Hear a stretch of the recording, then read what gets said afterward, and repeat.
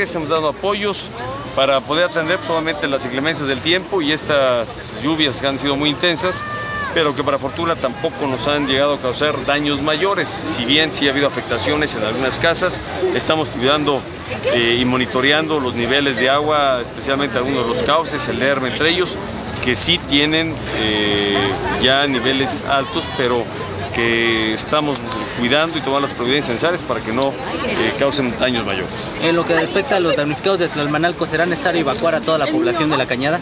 Eh, estamos evaluando, la Protección Civil está haciendo la, la valoración. Lo, digo, lo deseable es que la gente no se exponga a estos riesgos, de en zonas de alto riesgo y donde buscaremos la manera de reubicarles.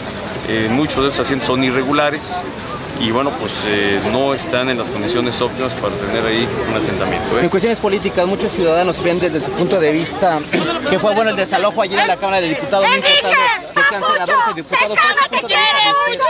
Yo creo que aquí hay que hacer valer el derecho, hay que ser respetuosos. Creo que eh, en la revuelta esta, bueno, yo no sé si sea posible distinguir de quiénes son diputados de quienes no lo sean.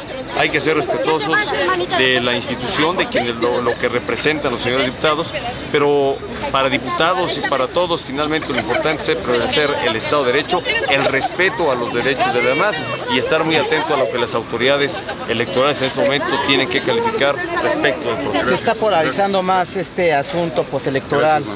No debiera y yo estoy porque haya respeto restricto a las determinaciones de las autoridades electorales.